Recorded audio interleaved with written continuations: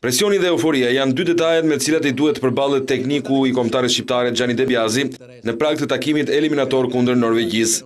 Në daljen e tij të parë tekniku italian është munduar të bindë gazetarët se sfida kundër skandinavëve është e rëndësishme, por jo thelbësore dhe decizive po të bëjmë kalkulimet, për të ardhmen në këto eliminatore.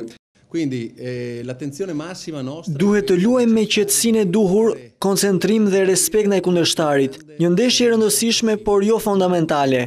Euforia të bën mirë sepse të jep stimuj, por jo të jemi në ajër. Kundërshtari na nënvlerësoi në takimin e parë dhe tani vjen tridhjetë për qind më i motivuar. Do të bëjmë ndeshjen perfekte për ta fituar këtë sfidë. Që kur unë kam ardhur nën drejtimin e Kombëtares, lojtarët kanë dhënë më të mirën e mundshme. Por opinioni nuk duhet të krijojë presion ndaj tyre, nuk duhet fryrje e tepërt mbi atë sa janë mundësitë. I pyetur në lidhje me një rinovim të mundshëm të kontratës, tekniku De Biasi ka deklaruar se kur federata ta kërkojë një gjë të tillë, do të jetë i gatshëm të ulet për të diskutuar. Grumbullimi i Kombëtares do të jetë me dy faza.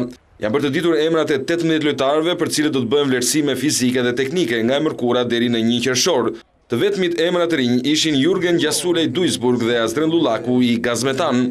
Në datën tre qershor do të bëhet publike dhe një tjetër listë me tetë lojtarë.